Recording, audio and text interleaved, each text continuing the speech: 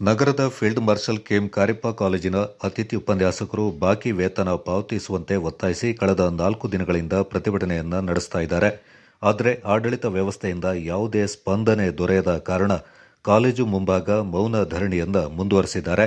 ತರಗತಿಯನ್ನು ಬಹಿಷ್ಕಾರ ಮಾಡಿ ಧರಣಿ ಕುಳಿತಿರುವ ಅತಿಥಿ ಉಪನ್ಯಾಸಕರು ತಮ್ಮ ಬೇಡಿಕೆಗಳಿಂದ ಬಾಯಿಯ ಮೇಲಿನ ಮಾಸ್ಕ್ಗೆ ಲಗತ್ತಿಸಿ ಗಮನ ಸೆಳೀತಾ ಇದ್ದಾರೆ.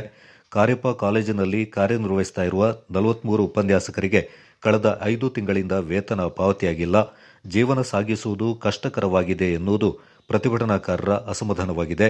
ಕೋವಿಡ್ ಸಂದರ್ಭದ ಮೂರು ತಿಂಗಳ ವೇತನ ಸೇರಿ ಒಟ್ಟು ಎಂಟು ತಿಂಗಳ ವೇತನವನ್ನು ತಕ್ಷಣ ನೀಡಬೇಕೆಂದು ಒತ್ತಾಯಿಸಿದ ಪ್ರತಿಭಟನಾಕಾರರು ಬೇಡಿಕೆ ಈಡೇರಿಸುವವರೆಗೆ ತರಗತಿ ಬಹಿಷ್ಕರಿಸಿ ಪ್ರತಿಭಟನೆ ಮುಂದುವರಿಸುವುದಾಗಿ ಎಚ್ಚರಿಕೆ ನೀಡಿದರು. ಸ್ಥಳಕ್ಕೆ ನ್ಯಾಕ್ ಸಮಿತಿಯ ಸದಸ್ಯರು ಮಂಗಳೂರು ವಿಶ್ವವಿದ್ಯಾನಿಲಯದ ಮಾಜಿ ಸಿಂಡಿಕೇಟ್ ಸದಸ್ಯರು ಹಾಗೂ ಫೀಲ್ಡ್ ಮಾರ್ಷಲ್ ಕೆಎಂ ಕಾರ್ಯಪ್ಪ ಕಾಲೇಜಿನ ನಿವೃತ್ತ ಪ್ರಾಂಶುಪಾಲರಾದ ಡಾಕ್ಟರ್ ಪಾರ್ವತಿ ಅಪ್ಪಯ್ಯ ಅತಿಥಿ ಉಪನ್ಯಾಸಕರ ಧರಣಿಯನ್ನು ಬೆಂಬಲಿಸಿ ಮಾತನಾಡಿದರು.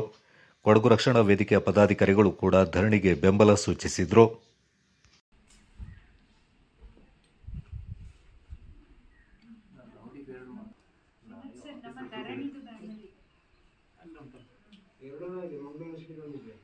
ಸುಳ್ಯ ಎಲ್ಲ ಕಡೆಯಿಂದ ಬರ್ತಿರ್ತಾರೆ ನಮ್ಮ ವೈಯಕ್ತಿಕವಾದ ಖರ್ಚುಗಳಿಗೆ, ತಿಂಗಳಿಗೆ, ಐದರಿಂದ ಎಂಟು ಸಾವಿರ ಬೇಕಾಗ್ತದೆ ಸೊ, ಇಷ್ಟು ಕಷ್ಟದಲ್ಲಿ ನಾವು ಬಂದು ಮಕ್ಕಳ ಹಿತದೃಷ್ಟಿಯಿಂದ ಪಾಠ ಪ್ರವಚನ ಮಾಡಿ, ಮತ್ತು ಕಾಲೇಜಿನ ಘನತೆ, ಮತ್ತು ವಿಶ್ವವಿದ್ಯಾಲಯದ ಘನತೆಗೆ ಧಕ್ಕೆ ತರೋದ್ರಿಂದ ಅದರಲ್ಲೂ ಮುಖ್ಯವಾಗಿ ವಿದ್ಯಾರ್ಥಿಗಳ ಭವಿಷ್ಯಕ್ಕೆ ಮಾರಾಟ ಆಗಬಾರ್ದು ಅನ್ನೋ ದೃಷ್ಟಿಯಿಂದ ನಮ್ಮ ಸ್ಯಾಕ್ರಿಫೈಸನ್ನು ಮಾಡಿದ್ದೀವಿ ಸರ್.